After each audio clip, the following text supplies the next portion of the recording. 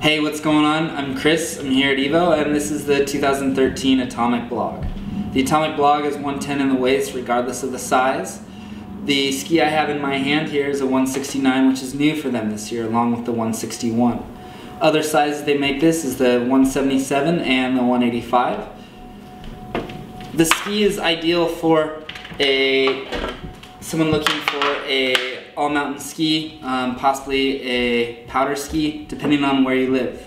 You'll find that the solid wood core, the amount of side cut that the ski has, and the rocker profile, um, they have 20% rocker in the tip and tail, leaving you about 60% here in the middle uh, that will hold and ski really well on groomers, um, but then you get the float, tip, and tail.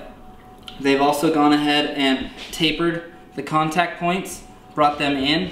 The ski will then perform a little better in soft snow. It'll help the ski plane to the surface, and overall, you'll find that it's a great ski. Regardless where you ski, you'll have fun on this.